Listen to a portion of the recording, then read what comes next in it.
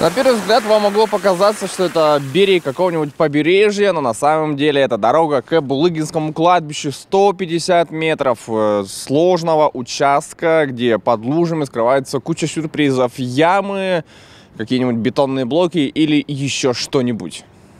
Зимой дорога отличная, но с приходом весны все меняется. Лариса Щеляйкина проходит путь до Булыгинска-Кировского кладбища как полосу препятствий. Дорога грунтовая, хотя где-то видны и остатки асфальта. Альтернатив никаких, только огромные лужи и грязь.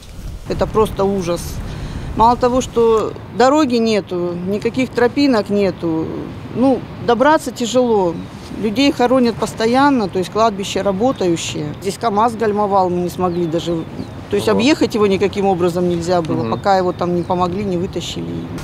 Как говорится, дорога к кладбищу сплачивает. Хочешь проехать, объединяй усилия и помоги ближнему. Если с таким участком дороги не справляются грузовые машины, легковые и подавно. Легковушки сюда, конечно, ездят чаще, но не все добираются до конечной точки. Попадает в лужу, и машина либо плывет и не едет дальше, либо задевает землю бампером или порогом и выплывает с нехилым уроном. А ведь скоро родительский день, когда на этот путь встанут тысячи барнаульцев. Мы обратились за пояснениями в администрацию Барнаула.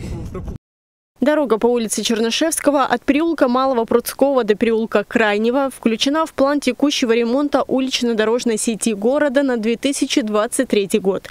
Работы планируется провести в течение этого же года. Видела, что шло захоронение, то есть ехал э, кортеж э, похоронный, и вот катафалк ну, практически шел чуть ли не под эти кто они, под бампер, под самый. Угу. Потому что, ну, глубокие, вы сами сейчас, может быть, ехали, видели, что лужи очень глубокие.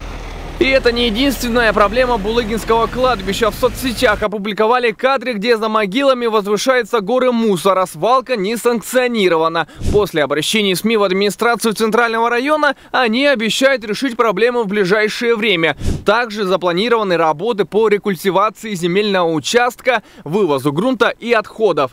Жители города надеются, что ничто не омрачит родительский день, который в этом году выпадает на вторник 25 апреля. И все все смогут приехать и пройти к усопшим родным. Дмитрий Дроздов, Александр Антропов. День с толком. Морской прибой тебе снял.